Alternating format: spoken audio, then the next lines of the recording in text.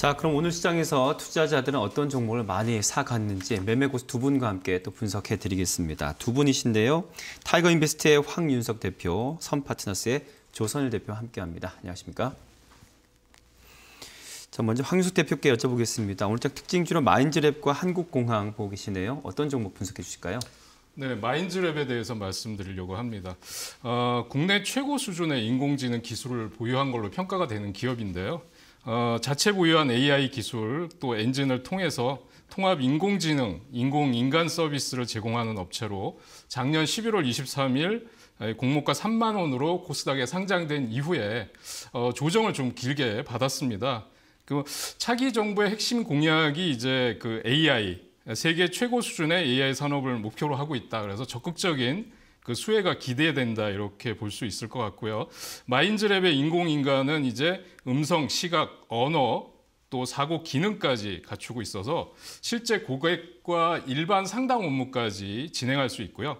또 어, 초기 구축비를 매출로 어, 인식하고 또 이후에 어, 연간 보주 어, 연간 유지 보수 금액도 매출로 발생하는 점이 어, 굉장히 호재라고 할 수 있겠습니다. 실적도 계속 개선될 걸로 예상이 되고요. 최근에 국내 최초로 아마존 웹 서비스 파트너로 선정된 메가존 클라우드와 이제 클라우드 기반의 AI 플랫폼 공동 사업 협력 계약을 체결했다라는 것도 호재로 작용할 수 있을 걸로 보여지고요. 어, 인공지능의 지능형 로봇 이런 것들이 최근에 약세장에서 어, 차기 당선자의 공약과 관련된 종목들이 지금 돌아가면서 순환 상승을 하고 있다는 점 때문에 오늘 시장에서 주목을 받은 걸로 보여지고요.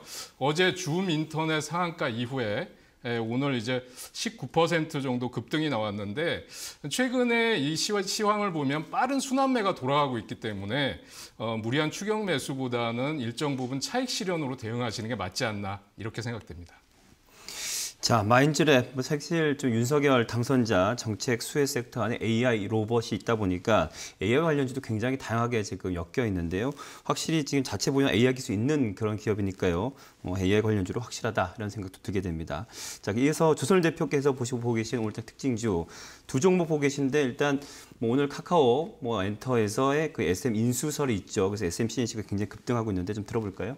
네, 작년에 이어 또 가지고 나왔습니다. SMCNC인데요.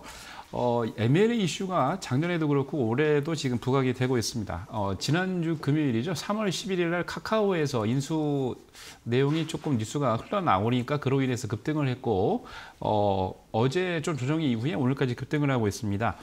작년 같은 경우는 CJ ENM이 예, 적극적으로 SM 엔터테인먼트의 지분을 다 인수를 하겠다는 이슈가 나오면서 부각이 되면서 작년에도 급등 랠리를 펼쳤는데 어, 작년 이후에 에, 지난주에 좀 바뀌었죠. 에, 작년 같은 경우는 CJ이고 이번에는 어, SM을 또 이제 그 카카오에서 그렇죠. 인수하겠다는 얘기가 네. 나왔는데 아직까지는 정확하게 뉴스를 파악하기 어렵습니다만 어, 그날 발표한 내용을 보니까 어, SM, SM에서 최대주 지분 매각 개선은 열심히 지금 노력을 하고 있는데 예, 다각도로 노력을 하고 있지만 아직 확실하게 발표된 내용이 없다는 내용과 함께 어, 나왔습니다만 저도 사실 궁금합니다. 작년 같은 경우에는 뭐 CJ 쪽에서 네. 금년 같은 경우에는 어, 지금 보시는 것처럼 카카오에서 인수를 한다고 그러는데 어떤 쪽에서 인수를 할지요.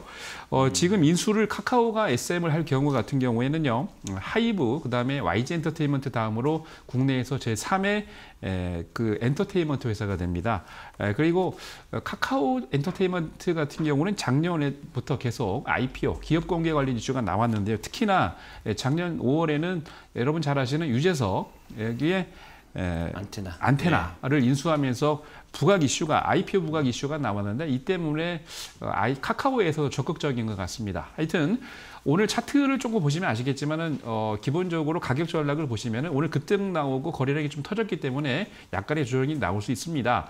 에, 다만 에, 처음에 첫날 지난주 금요일이죠 급등을 했던 에, 고점 4,700원대를 훼손하지 않는다면 에, 보유하고 계신 분들만 조금 더 보셔도 괜찮을 것 같습니다. 네. 자 말씀해 주신 김에 뭐또 같이 이어서 빅텍 그 방산주도 같이 좀 설명 좀 해 주시죠. 네, 지난주에도 여러분들에게 이제 이 시간대에 빅텍 좀 관심을 좀 가지셨으면 하고 관심주로 언급을 드렸었는데요.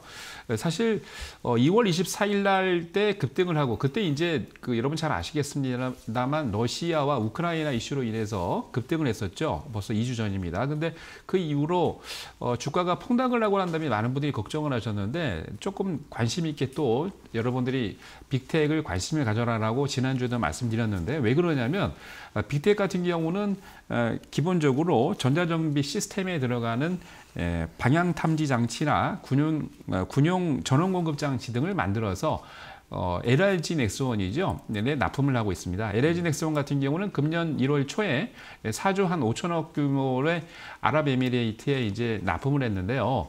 어, 10일이죠. 지난주가 지난주 10일까지 예, 아랍에미레이트와 약간 적국으로 판명되고 있는 여러분 잘 아시는 그 국가에서 10일까지 예, 방위산업전을 최초로 했습니다. 그러면서 어, LIG 넥스원과 계약 체결을 또 했는데 에, 그 LIG 넥스원의 창궁 2에 들어가는 에, 그 부품을 바로 빅텍이 납품을 하고 있는 거죠. 그래서 관심 있게 지켜보시고 어제도 어, 러시아하고 우크라이나가 4차 협상이 할 것이다라고 그랬는데 2시간 만에 결론을 냈습니다. 뭐 이슈로는 뭐 기술적인 이슈라고 그러는데 제가 봤을 때는 뭐 당연히 러시아와 우크라이나가 아, 기본적으로 협장, 평화 협정하기에는 지금 너무 이르다고 보고 있고요. 오늘 또 어, 예정이 돼 있습니다. 러시아하고 우크라이나가 5차 협상 예정돼 있는데 뭐 어, 뭐그 실시간으로 화상 화상 통화로 이제 어, 진행이 될 것 같은데 아직까지는 지금 어, 협상이 제대로 되지 않을 거다라고 예상을 저는 하고 있고 네. 거기다가 어, 내일입니다. 러시아가 지금 어, 달러로 채권을 발행한 이후에 에, 한 1억 한 5천억 이상의 달러를 지금 채권을 갚아야 되는데 에, 지금 여러분 잘 아시겠습니다만 지난주 일요일부터 스위프트에서 러시아 국가의 에, 스위프트에서 빼놨기 때문에 에, 달러를 지금 6천억 이상 달러 이상 갖고 있어도 지금 채무를 갚을 수가 없습니다. 그러면서 루브라로 대체해서 갚겠다고 그랬는데 루브라로 받을 국가는 없겠죠. 그래서 어, 내일 아마 디폴트가 예상이 되는데 30일 동안 유예를 함에도 불구하고 이게 당분간 한 한 달 가까이 변수로 어, 작용이 될 것 같습니다.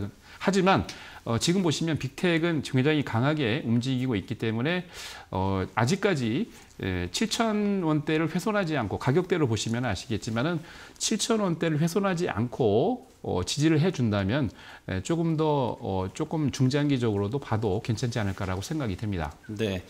자 계속해서 황용 대표께 또 여쭤보겠습니다. 한진 계열사죠 한국공항, 그 항공 물류 쪽을 하는 기업으로 알고 있는데요. 좀 지금 분석점 좀 잠깐 부탁드릴까요? 네.